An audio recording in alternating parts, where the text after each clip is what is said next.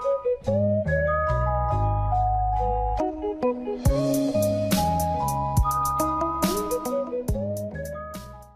Hi guys, Tech James here. So the 3.69 and 3.70 PS Vita hack is finally come out. They decided to call it Trinity, and in this video I will be showing you guys how to install it. So you go, Trinity is the third public jailbreak for the PS Vita. It supports the latest firmware, 3.69 and 3.70. The exploit chain consists of three stages. Basically, I'll be showing you guys how to do it anyway. So if you guys like his work, you can go and donate to him here. That is his name at the top of the official flow. Um, here are the requirements. So your device must be on firmware 3.69 or 3.70. If you're on a lower firmware, please use Hencore. I have videos for that over on my channel. If your device is the old PS Vita, you must have a memory card. Um, if your uh, device is a Slim or a PSTV, just like mine, mine's the PSTV, you do not need a memory card because you can use the internal storage. Um, your device must have a PlayStation Network account and you must be able to access the PlayStation Store. So here is the preparation. Now you should have already done this um, if you know about this custom firmware. I have got a video for this on my channel so you can prepare. Basically you need one of these three games. I live in the UK so I decided to get Ape Quest and yeah I've pretty much already covered this. So now let's go on to the installation. The first thing we need to do, we need to download QCMA and PSV image tools. On QCMA, all you have to do is scroll down, choose your operating system. I'm running Windows, so just click on this and it will begin downloading. Next, we need to get PSV image tools, so go to the second link and just scroll to releases right here and click on that one release. Scroll down again and we can find it. We need to get the Windows um, version because I'm on a Windows PC, so I'm going to get the Windows 64-bit. Just click on that and that will begin downloading as well. Okay, so once we've got these two files, we want to go to our downloads folder and just find them both in there. So the first thing we need to do is install QCMA. So just double click on this and you can just follow through. Just click yes and just click next. Actually just wait for this. It's very simple to install. I've actually already got this installed. I've had it for a while. Um, but all you have to do, is just wait for this and um, simply just click next, select your language. You guys get the idea. I'm just going to close out of this because I've already got it. Okay, so next we can just close down these two tabs and back on the main, we need to do the second option. So it says start QCMA and we need to go to into the settings and make sure this option is enabled. So let's do that. Go to your search icon, just type QCMA or you might already have it enabled um, if you decided to run it, but we're just going to click on it. So what we're going to do now is click on the small arrow down here. We're going to find it. Um, it looks like I've got two open actually, so I'm just going to quit one of them. We're going to right click it, go onto settings, make sure you go onto other up here, and where it says use the version, um, basically just select this one, firmware 0.00, always up to date, and now you can just click on OK. It's then just going to close out of it. Now next we need to go onto our PS Vita or PS TV and we need to launch Content Manager and we need to connect it to our computer so we can copy across our PSP game. So let's go and do that now. Okay guys, so over on your PS Vita or PS TV or whatever device you're using, make sure you have your PSP game. Here is mine, Ape Quest. What we're going to do, we are going to go and start up Content Manager. Now with this, we can actually connect to QCMA over on our computer. So what we have to do, we have to select Copy Content and just press X on this or tap it.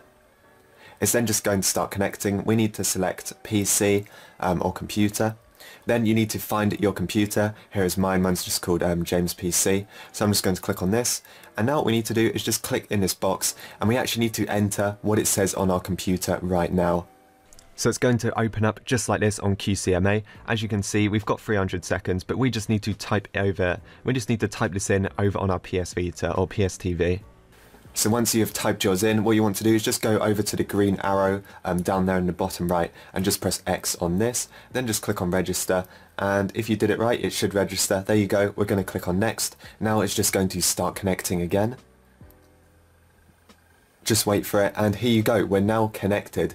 So what we have to do, we have to copy um, content from our PS Vita, PS TV over onto our computer. So we're going to press X on this option right here. We then need to scroll down and we need to go to applications. We then need to go to PSP slash other, press X, and here we can find our ApeQuest game. So it's 200 megabytes, press X on this, and we're going to go on copy. Then we're going to click OK and it's now going to copy this across um, to our computer. So you can connect this via wire as well. If you're using a PSTV like me, you must do this over the Wi-Fi. But we're going to copy this across. There you go, 70 seconds. Let's just wait for this and I will be back when it's done. Okay, so once our game has copied across, um, it should now be on our computer. So what we have to do is we have to find it. So it says transfer your game, we have done that. We have to go to this folder, documents, PS Vita, and then P game. So we're going to go onto our documents. Um, so documents, PS Vita, P game. Um, now, if you have two, I don't know why I've got two, but you need to find the one that says date modified most recent. So this one was one minute ago, so it must be this one. I'm pretty sure, yeah, that's empty. Don't know what that is. But we're going to go into this one right here. We're going to find our game. Now, we're going to make a backup of this game just in case it goes wrong. So I'm just going to right click copy, and I'm just going to paste this somewhere in my downloads, just in case we need it again. Um, obviously, we can use it. And now we've got a backup of it. So let's go back over to that folder. So what we have to do, we have to go back, we have to find a folder that the game is in, right click and go to rename, and then we're going to go right click again and copy. Make sure you copy this unique ID. Next, go over back to the guide. We need to click on here. This is going to open up a link um, for us to paste the like number in. So we're going to right click and paste, click on submit, and what it's going to do is just give us this whole custom line of numbers and letters. So what we're going to do, we're going to right click and copy this.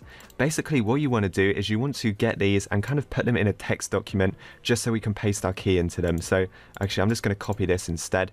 As you can see, I've put them in here. So let me just show you how I did it. So I pasted it in and where it says your key, you just want to copy this and paste this in to where it says your key. We will need to use these in a minute. Um, there's this one as well, and that is this one right here. So again, copy this, obviously paste it in, and where it says your key, you want to put in your custom key just so we do not use lose this just yet. Okay, so once we've got these two kind of like custom um, CMD prompt commands, we actually want to go to our downloads folder and we want to find our PSV image tools. From here, we want to right click and just select extract to PSV image tools. It's going to put it into a file folder for us. We want to copy everything that's in here, right click copy it, go back into our documents where it says P game go into this folder um, just like this you can you know just go into the root of it right click and paste the contents of the PSV image tools in here so next we are going to open up CMD. So click on the search, type in CMD just like that, press enter on it and it's going to open. On this text box here, we want to type in CD space. And now we're basically going to copy this game file into CMD. So go and select this, go onto it and just drop it in there and it's going to look just like that.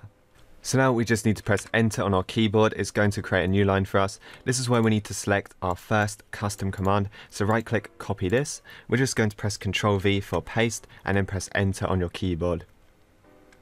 Now what it's going to do is extract something. Now it says creating file right here. I'm pretty sure it's done already.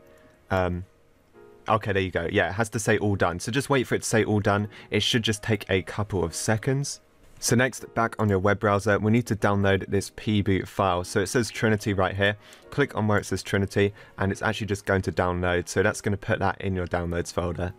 Okay, so go and find your pboot.pbp in your downloads folder. We're going to right click this and then just select copy. We need to go back to our documents. We need to go inside of our game again. We need to go inside of game underscore DEC. We need to go inside of this folder, which says UXO on it. And we need to right click and paste our pboot.pbp inside of this folder. From here, we need to open up back our CMD and we'll actually need to put in our next command. So that will be this one. Make sure you copied it across correctly. We're going to right click copy and control V on our keyboard and press enter on our keyboard.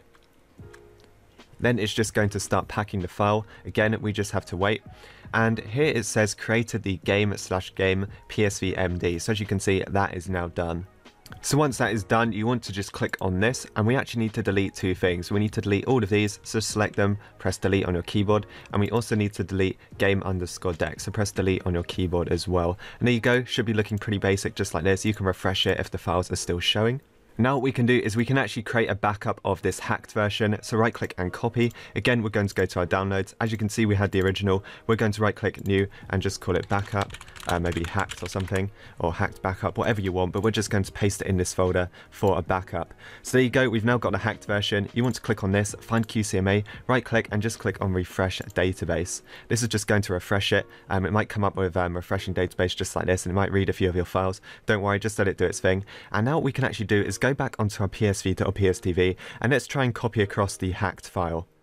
So we are still on this where we copied it across from last time. We're going to click cancel and this time we need to go back because we actually need to do something different. We need to copy it from the PC to our PSTV system. So again, applications, um, PSP other, and here you go, we've got ApeQuest. We're going to select this and just go on copy, then just click on OK. And it's now going to start copying it across from our computer over onto our PSTV. So I don't know how long this takes. It might take longer copying it. So we're just going to wait for this to complete. So yeah, there you go. It's 13 minutes. So that is actually quite long, 8 minutes. And before it didn't take too long. So yeah, let's just wait for this. So there you go guys, I've finally finished. We can actually click cancel on this and we can press circle to go all the way back um, to the, uh, the main menu. And then what we can do is we can actually just close out of this with a PS button, hold circle to close it down. And there you go guys, we've got Trinity on our home screen. So it should look just like this. If you did anything wrong, it might show the original PSP game. Um, but it will say ApeQuest when you click on it. So we can just press X on start. And hopefully it should actually boot into it. So you go get a really cool animation, Trinity Exploit by the Flow. Again, if you like his work, he has a donation section over on his um, over on the guide on how to set this up. And there you go, we've got install Henkaku, download VitaShell. Um, my screen just went black, I don't know what's going on. So what we can do, we can actually press X on install Hankaku and then say success. And we also need to press X on download VitaShell and that's going to download as well. Um, just wait for this to download. It shouldn't really take too long. VitaShell is a pretty small program. Um, so let's go and say installing application. And once it is done, we can actually go and exit out of Trinity. There you go, success. Press X on exit.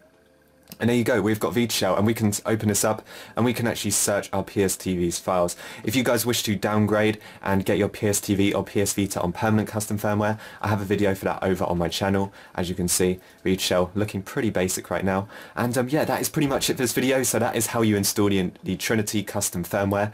Let me take a look at my system settings real quick. Let's see if Trinity has got a cool icon over on the system information. So system system information still says just 3.70 basic.